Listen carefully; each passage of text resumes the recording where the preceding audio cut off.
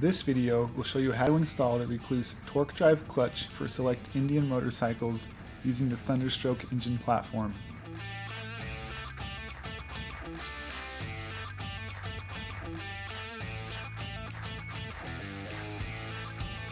The tools needed for this job are 5, 6, and 8 mm Allen wrenches, a 10 mm socket, 13 and 14 mm wrenches, a torque wrench, a pick, and a container to catch the oil.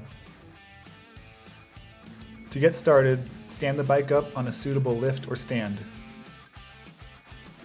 Using a 6mm Allen, remove both oil drain plugs and sealing washers. Allow all the oil to drain out into a suitable container. The clutch cable, shift linkage, and floorboards will all need to be removed out of the way of the primary cover. Using a pick, remove the snap ring retaining the clutch cable. Next, remove the shift linkage using a 5mm Allen wrench. After loosening the jam nut, fully collapse the clutch cable. This will help with removing the clutch cable from the clutch actuator arm. Use a 5mm Allen wrench to remove the clutch actuator bolt. Then use a 10mm socket to remove the clutch cable bracket. Using an 8mm Allen wrench, remove the floorboards. Remove the floorboards and shift linkage as one assembly. Next, remove the clutch actuator arm,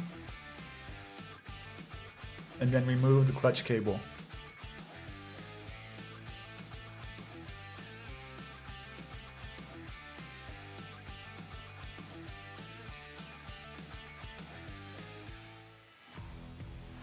Using a 6mm Allen wrench, remove all of the primary cover bolts. Verify that the shim has not come off the shift shaft. If it's missing, check the inside of the primary cover and be sure to return on installation. Next, use a 10mm socket to remove the pressure plate bolts and springs.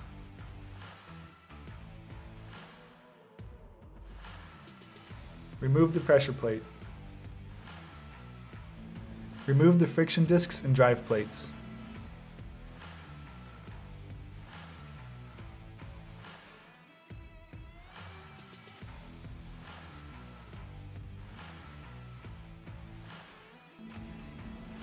The judder spring and judder seat at the back of the clutch pack can remain in place as it will be used upon reinstallation. Judder seat will go in first, followed by the judder spring with the cup side facing out.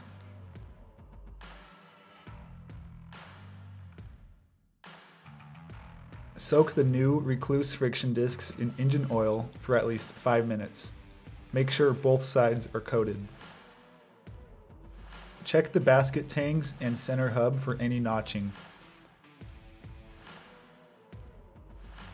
Do not install Rekluse basket sleeves or attempt to install the clutch with a notched basket or notched center hub. Install the Rekluse basket sleeves into the basket slots. Make sure the sleeve tabs sit against the inside of the basket, then push the sleeves down until they contact the bottom of the tang slot. Before installing the clutch, verify that the judder seat and judder spring are in place. First, install the Rekluse judder friction disc. This is the disc with the wider inner diameter which accommodates the judder spring. Start by installing six 48 thou drive plates, alternating each with a thin friction disc.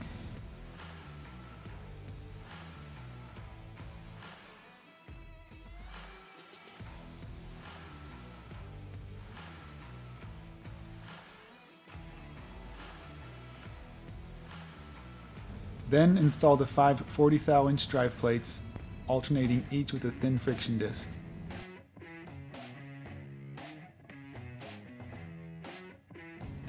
On top of the last drive plate, install the thick friction disc. Reinstall the OE pressure plate. Verify that the clutch lift rack is still in place. Install the Rekluse pressure plate springs, followed by the OEM pressure plate bolts. Loosely tighten down all the bolts.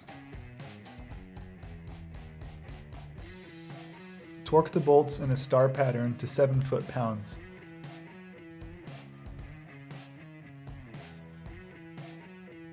Clean the gasket surface of the crankcase and primary cover. Replace the primary gasket if it's been damaged. Clean off any dirt or debris from the shift shaft. Apply a thin layer of grease to the shift shaft seal before installing the primary cover. Verify that the shim is located on the shift shaft against the snap ring. Before installing the primary cover, make sure the clutch rack is angled to align with the clutch shaft inside the primary cover. Install the primary cover.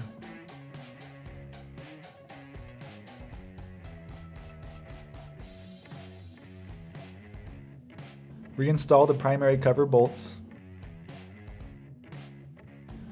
Lightly tighten the bolts in the following pattern.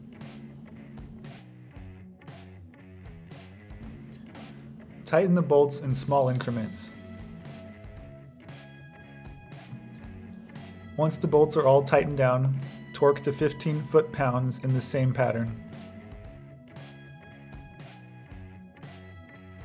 Next, route the clutch cable back through the bracket. Reinstall the floorboard assembly. Torque to 35 foot-pounds. Next, reinstall the snap ring to the clutch cable bracket.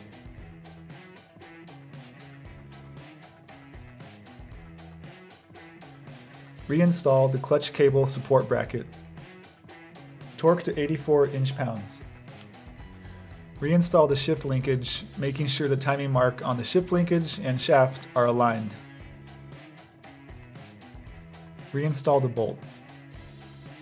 Torque to 84 inch-pounds. Next, install the clutch cable to the actuator arm. Rotate the clutch shaft clockwise towards the engine case until it won't move forward anymore. Rotate the actuator arm counterclockwise towards you and gently align the splines. Reinstall the bolt and torque to 84 inch-pounds. Next, reinstall both oil drain plugs, making sure the sealing washers are in place. Torque the bolts to 15 foot-pounds. Refill the oil to factory specification.